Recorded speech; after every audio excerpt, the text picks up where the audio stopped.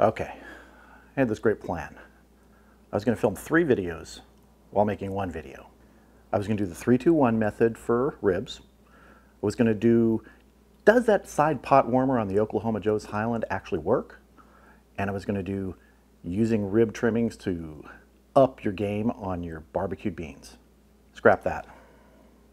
All three are going to be in one super video.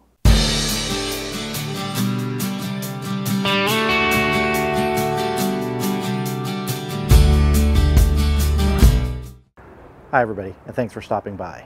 Okay, you're here for this super video. Okay, let's hold there for a second.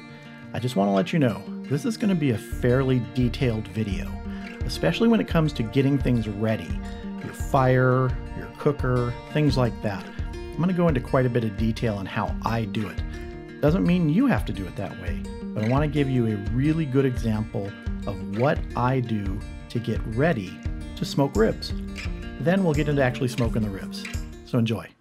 First thing I got to do is I've got to get two fires lit. One in the Oklahoma Joe's Highland and the other in my Weber kettle. I'm going to be doing the rib trimmings on the Weber kettle indirect and I'm going to be doing the ribs on the Oklahoma Joe's Highland. Okay, there's charcoal for my Oklahoma Joe's Highland offset that's getting started. Now I've got to get the charcoal in the Weber kettle going. So I'm setting up the Weber kettle for indirect and I'm going to be using this for the rib trimmings. And I'm also going to be reusing some charcoal in here that still has some life left in it. I'm a big believer in that. You don't always burn out your charcoal completely. Sometimes you need dead fresh. I've got a couple fresh pieces in there. But I'm going to be starting this today with my favorite method for lighting charcoal, even though it's not always the most practical. I'm going to be using the torch.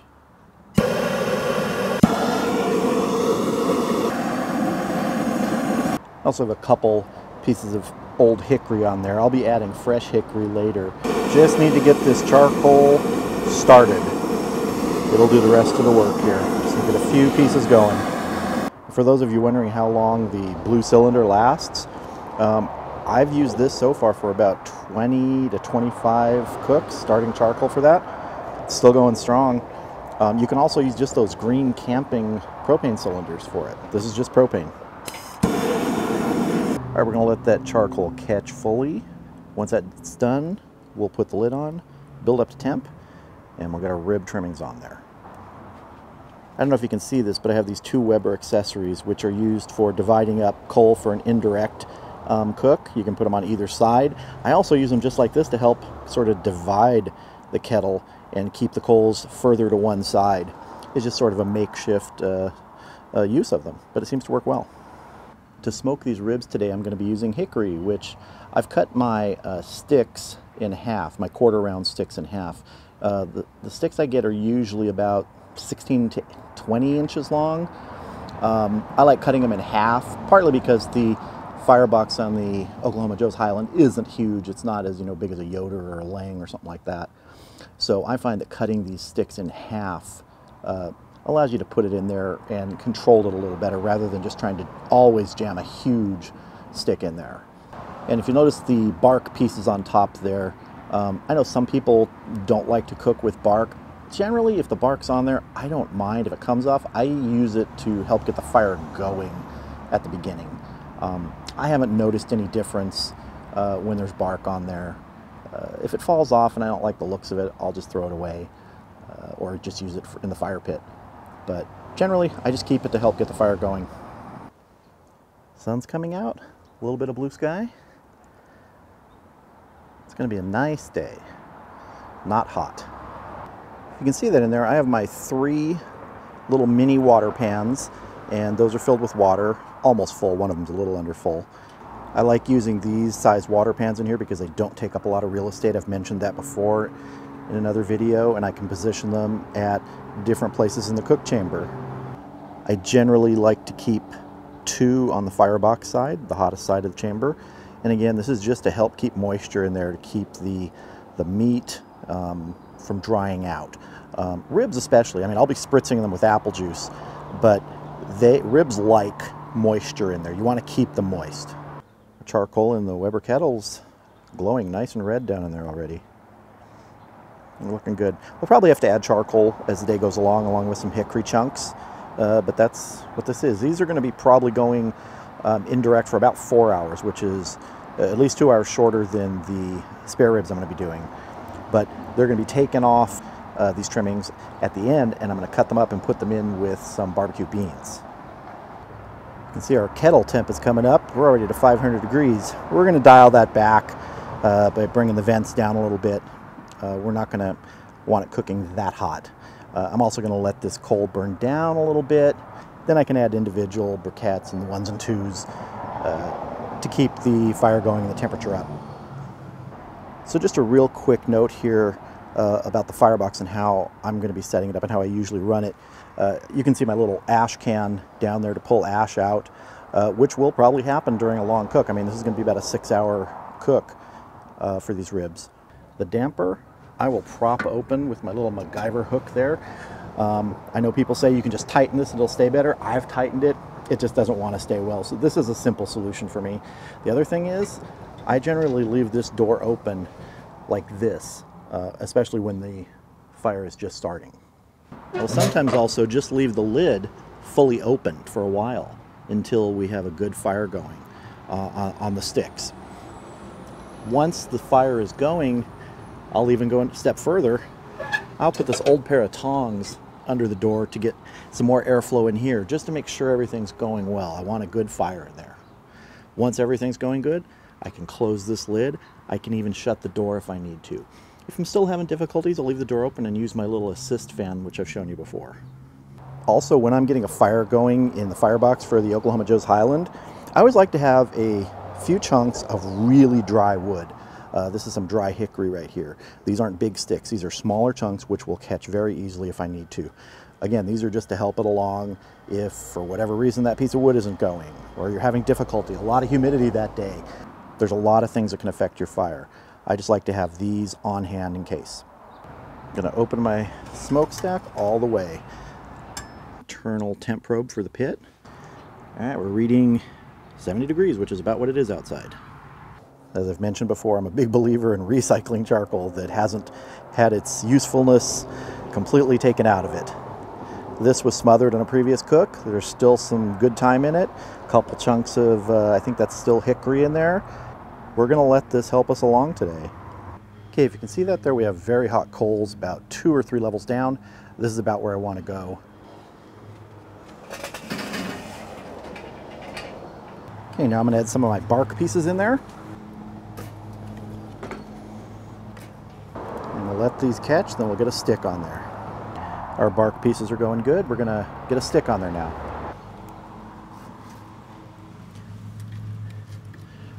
We're gonna let that catch. And then we will bring the door down with the tongs underneath it. Okay, so we have a good fire going here. Gonna bring our lid down with our tongs underneath. That'll allow us to Still have good airflow as this fire starts to build and catch this initial fire. I just love the look of that smoke starting to come out of the smokestack. It's sort of calming. I don't know if you can hear everything. I've got an airplane going overhead, traffic 50 feet away from me, and I think they're mowing the median out on the boulevard, you know, about 50 feet from my back wall. So I've got mowers, airplanes, cars, trucks. I don't know, there's like smoker therapy. This just calms me. I love this. And while it's coming up to temp, I need to go get the ribs ready. So what I have here are some spare ribs, which I've trimmed down to basically St. Louis cuts. And I'm gonna be putting on my brown sugar chipotle rub, which is heavy on the brown sugar. It's got enough chipotle powder in it to give it a little kick, but not too much. And that mellows out as you're smoking. Let's get these rubbed up here. You notice these were full racks. I've got three of them actually that I've cut in half, so six half racks. I just find that the half racks, I got used to doing that with my electric smoker, which wouldn't hold a full rack. And on the Oklahoma Joe's Highland, I found if you're doing more than two full racks, you can actually fit them better by cutting them in half to begin with. I've removed most of the membrane on this. I always miss some, but I haven't had any complaints yet. There's actually been times where I've left the membrane on too. No one complained then either, but I do like taking the membrane off. I'm not going for a really heavy coating of rub right here because during the 321 method, I'll explain that a little bit more later if you're not familiar with it. During that two stage of it, we're going to be adding more brown sugar and some more liquid when we wrap these in foil. Like I said, I'll go through that a little bit later. Okay, four more half racks to go and I'll be ready. Okay, so here are all the rib trimmings. Now, I know some of you out there that may be butchers or more skilled in trimming ribs are looking at this going, what did you do? Well, you're, you're right. I'm not a butcher and I'm not really great at trimming things. Uh, but I wanted to get these down to really edible, like I said, St. Louisy type ribs. Um, so you're cutting off big chunks with the bone, the chine bone, everything up here. I think it's called the chine bone. Big old hunks, but there's a lot of good meat left in here. And this is what we're going to be putting on the Weber to get that meat cooked so we can get it into our barbecue beans. So I'm just going to use the rest of my rub on this and just kind of douse it. We're just going to shake it on everything and rub these up as best we can. We won't be saucing these at all because they're going to be going into beans that are going to have barbecue sauce. Whereas at the end of our cook for the actual ribs, we will be saucing them during the one time of the 321 method all these pieces. And some of these are going to cook quicker than others, and that's all right because, like I said, it's going to be cut up and it's going to be cooked after about the four hour mark. We'll take it off and we'll pull as much meat off as we can. We're going to lose some, I know. Again, if you're a butcher out there looking at these, please don't laugh at me. doing the best I can. A lot of good meat in there. All right, I think it's time to get these on the Weber kettle.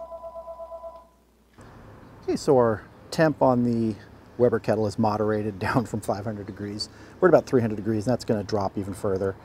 So I want to, again, want to keep it between, you know, 225, 250 on the kettle here. I don't mind if it gets up to about 300, but I want to try and keep it 300 or under while I'm doing these rib trimmings. You can see I've got the vent dialed down to about quarter on the top vent, bottom vent's all the way open. Get this lid off here. I'm going to add two briquettes and two pieces of hickory. Helps getting our smoke going in there. Start getting our big old rib chunks on here. Again, I'm going to put the biggest, thickest ones closest to the fire and the ones that aren't that thick, away. And we're going to be cramming in here. There's a lot of stuff to fit in this space. That is a full house. Here, let's put the lid back on, get it back to temp, and let it start cooking. Our pit temp's at 269. That's going to moderate a little bit. I want to try and keep it between 225 and 250, but I always find it's better to have that pit temp higher before you put the meat in because it's going to drop uh, precipitously. It's going to get way down there. So let's get these ribs on.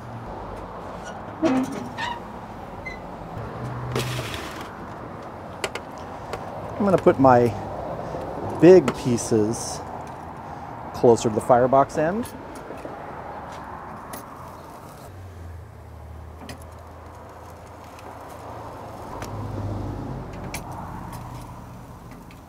It's a little bit of a jigsaw puzzle.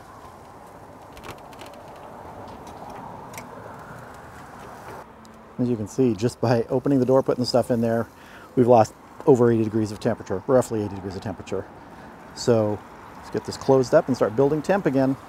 Let's get this closed up, start cooking. So the 321 method, what is it? Well, a lot of you out there, I'm sure, already know. This is for those of you who aren't familiar with it.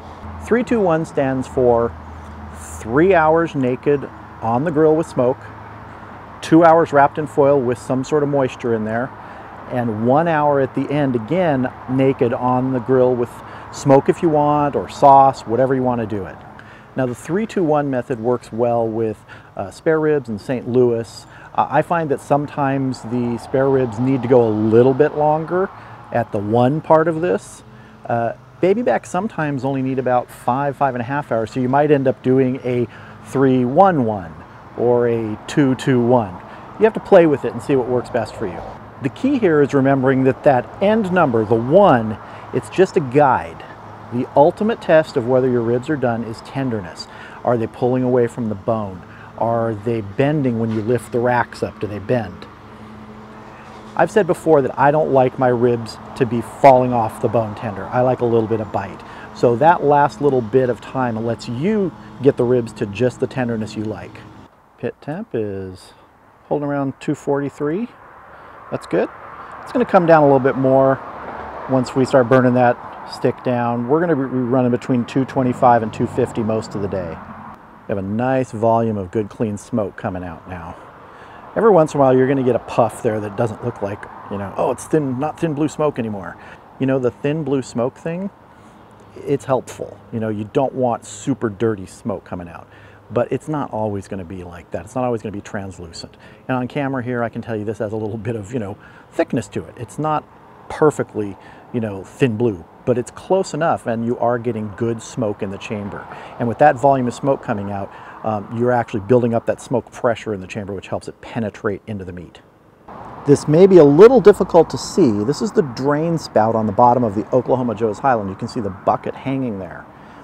But there's actually smoke coming out of that. Now that's always to me a good indicator that you have a good volume of smoke in your chamber if it's coming out the drain hole. You want that smoke to stay in there. You want it to fill there to help penetrate the meat. As long as it's clean smoke, you don't want the filthy smoke, you know, but it's you're you're gonna get some burn in there, but you want that smoke pressure. So I don't know if you can see it. It's hard maybe on the camera, but I can see it plainly here. There's smoke, you know, just drifting out of there, which is good. Just a quick check here, see how our wood is doing. Sometimes I like to turn it. You know, I think we're going to add another piece now. We're going to give that just a minute to help catch a little bit, but we already have one piece going really well in there. We're going to close this up again. Our pit temp's holding at about 250-ish, 252 right now. Uh, right on the upper side of what I want, 225, 250. Again, I want to give you an example of why it's important to keep moisture in your cooking chamber. That pan, one of the ones closest to my firebox, which was almost full, is now empty. Boiled away. So if you're pushing that much moisture out of a pan that's full of water, you can also push the moisture out of your food. That's why you want to help keep moisture in the chamber. So I'm going to have to add water to that pan. I'll top off the others at the same time.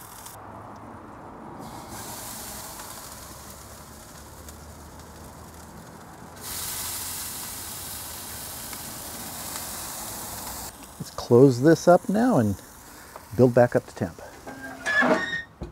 Okay, while I'm out here, I'm going to check the fire. We're looking good. I think we're to add another piece right now so we don't go completely down.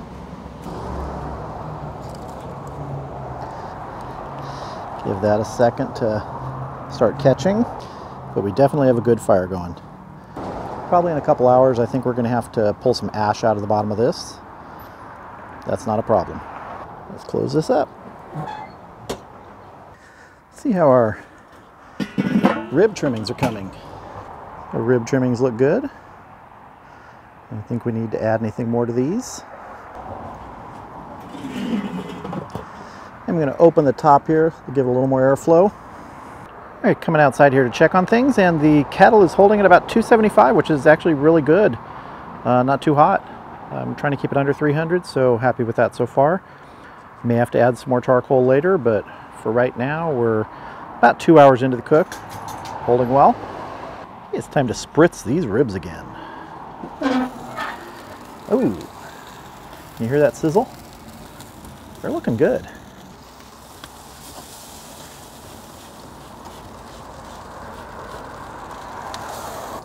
Yep, two hours in, these are just looking really good already. It's Got to keep them nice and moist. Close this up and keep them cooking. Give our fire a look, see how it's doing. Mm-hmm. Oh, time for another piece.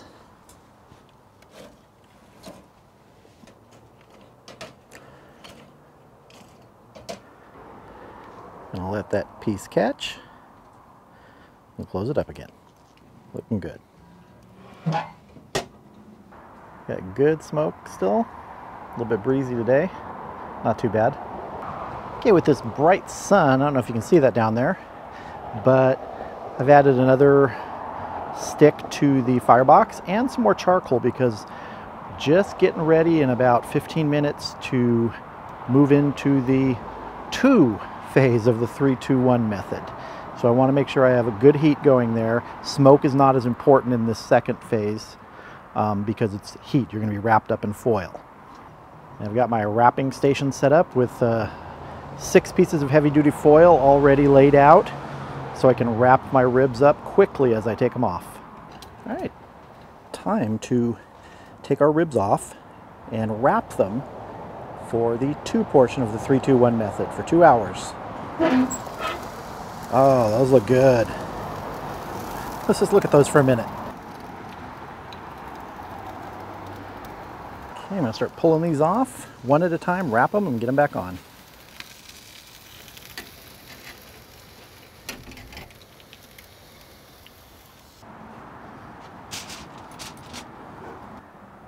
Gonna get some brown sugar on here. It's just gonna sort of melt around there. Get some more liquid.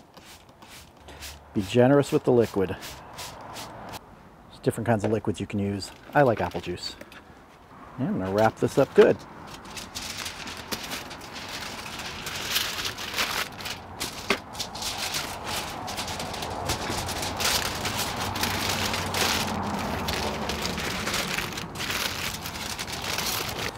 Want to keep bone side down. So I have this fold on top. I always keep my ribs bone side down when I'm smoking them. I don't roll them over to the meat side on top. I like to keep it this way. So this is going back on the smoker. And now we just repeat the process five more times. There are six half racks of St. Louis cut spare ribs wrapped up, ready for two hours in foil with brown sugar and apple juice uh, this will help tenderize them even further, keep them very moist. Let's close this up. We've got to build that temp back up. While we're out here, let's see how our rib trimmings are doing. Temp's a little high. It's over 300, about 350 right now, so I'm going to bring this back down. So check. Oh, looking good. Nice. We've got about an hour more to go before we cut them off, chop up the meat, and get it into our beans, which we are soon going to start testing on the Oklahoma Joe's Highland Offset Firebox Pot Warmer. Okay, so as part of Super Video, I said I wanted to test and see if the pot warmer, this little part here on the firebox of the Oklahoma Joe's Highland, and they're on other offset smokers I've seen too, does that actually really work? Could you actually use that to, you know, actually heat something like beans up enough to where you can eat them? Not just keep them warm, but actually cook them there, get them hot enough. And I'm gonna test that today. Okay, so the first thing I wanna do using my infrared thermometer here is see what is the temperature of the pot warmer. And I'm getting about 430-ish degrees. Not too bad. Okay, if you have a pot sitting on there, that will come up to temp. But how long will it take? Well, in a little while, I'm going to test that with an entire can of barbecued baked beans. That's what we're going to use when we add our rib trimmings in. We're going to be cooking it on here on the pot warmer. See how it does. All right. Beans going into the pot. This is to test the side pot warmer on the Oklahoma Joe's Highland.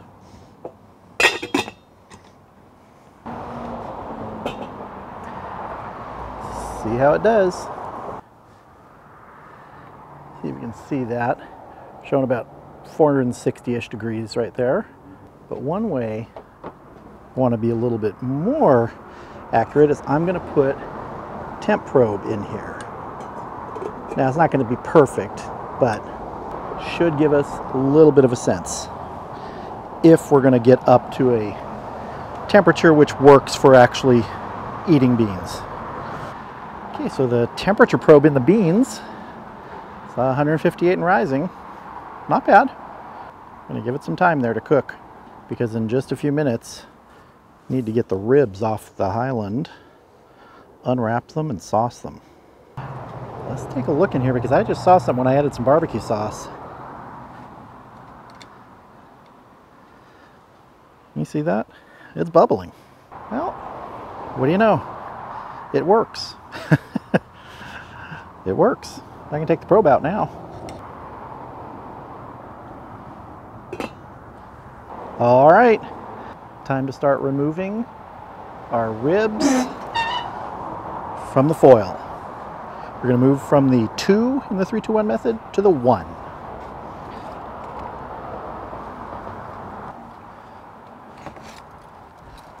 Let's get this opened up. Now I won't sauce this right here. I'm going to sauce it once it's back on the smoker. Let's take a look at this.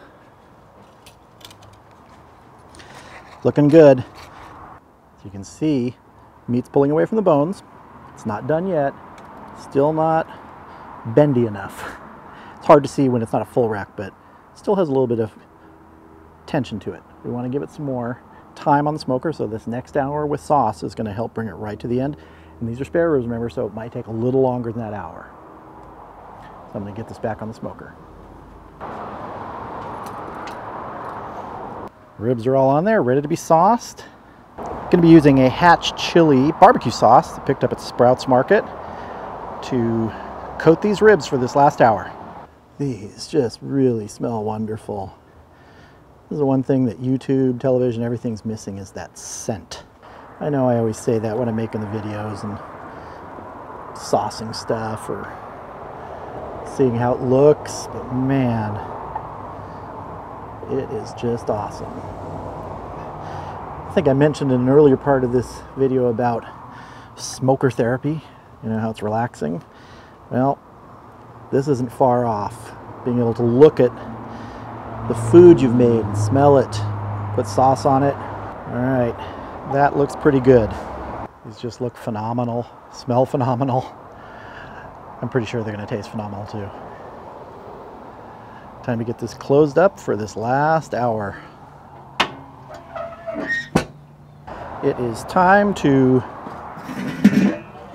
our rib pieces off.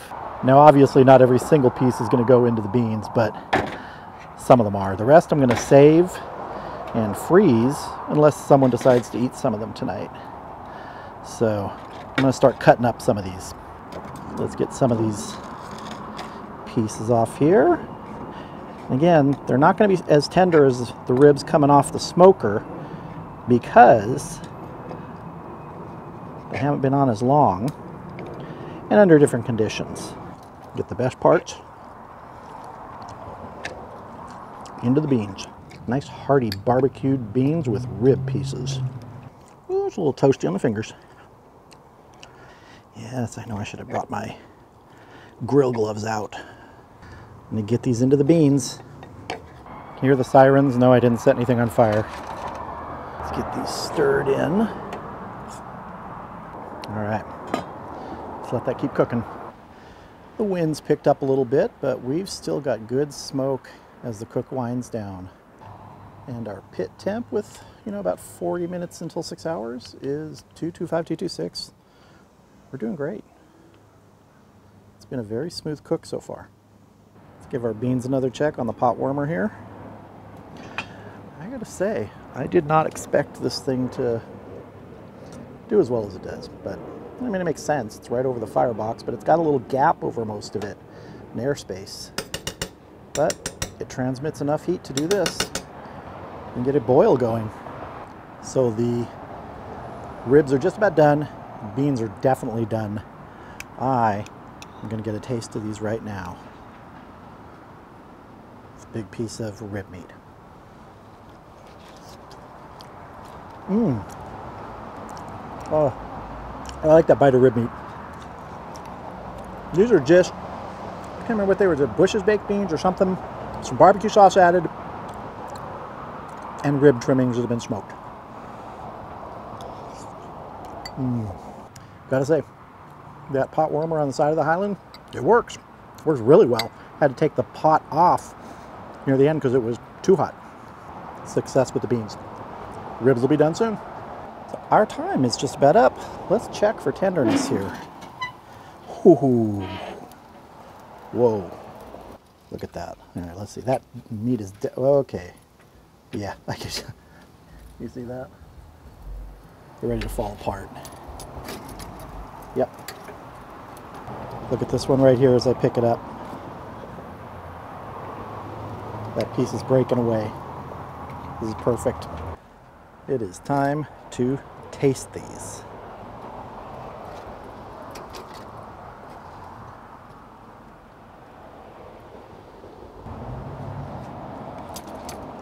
Look at that. Now I get to cut into this. Didn't bring my grill gloves out, but I brought blue gloves. Oh, so tender. Wow, look at that. This one is a little too done for me, but I know some people just love this, but oh man, I'm still gonna eat it. Now this was one of the ones that was closest to the firebox, so it is gonna be cooked a little more. It's also one of the bigger ones. All right, I'll pick it up and eat it. I am absolutely 100% ready to taste this. Okay, it's hard to see with this piece falling out, but there is a just wonderful smoke ring on this. I don't know if you can see that. Oh, let's go. Oh my God. Oh wow. I'm just to taste a piece of meat that fell off. Mmm. That sweetness of adding that brown sugar during the two phase of the 321. Mm, I'm to just eat a whole rib before anyone else gets here. By the way, I was cooking this for other people, not just me tonight. Mm. So I hope you enjoyed this super video. I know it's long, a lot of detail, but I wanted to give a lot of detail. If you enjoyed it, consider giving a like down below. It sure does help. And if you want to see more videos like this, go ahead and hit the subscribe button. If you're interested in any of the items that I used in this video, I'll link them down below. You can check them out in the description. Thank you very much for watching. I hope you have a great evening, and I'll see you again soon. I'm gonna eat some more ribs right now. That. Okay, falling off the bone isn't bad sometimes.